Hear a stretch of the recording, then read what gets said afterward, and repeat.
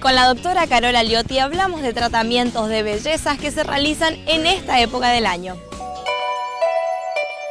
Hoy hemos presentado un tratamiento anti-aging por excelencia que se llama Mesopil. Es la combinación en la misma sesión de peeling y mesolifting, con un excelente efecto para borrar arrugas, manchas, recuperar el tono de la piel, devolverle la humedad, el brillo y la lozanía que necesita. Quiere decir que esto es para pacientes de determinada edad.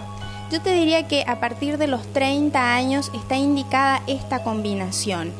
Por supuesto que con las variables que el caso nos exija, si la paciente tiene piel gruesa, piel grasa o piel fina y seca, haremos algunos cambios. Eh, depende también del tipo de arruga que tiene, el antecedente de exposición prolongada al sol. Entonces combinaremos ácido mandélico o TCA o glicólico con productos anti-aging, productos eutróficos, con medicamentos que relajan los músculos, sobre todo del tercio superior del rostro, para combatir las arruguitas de la pata de gallo o la frente o el entrecejo y usaremos Dimae, por ejemplo, en todo lo que es el óvalo de la cara y el cuello para reafirmar y combatir el doble mentón.